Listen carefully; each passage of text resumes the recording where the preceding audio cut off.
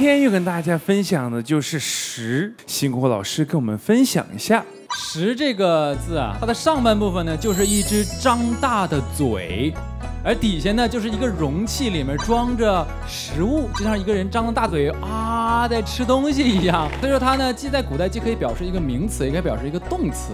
那我们都知道这个食物啊，还有粮食和我们是息息相关的。我们经常说的五谷，比较常见的呢就是黍、稷、麦、菽、稻这几种。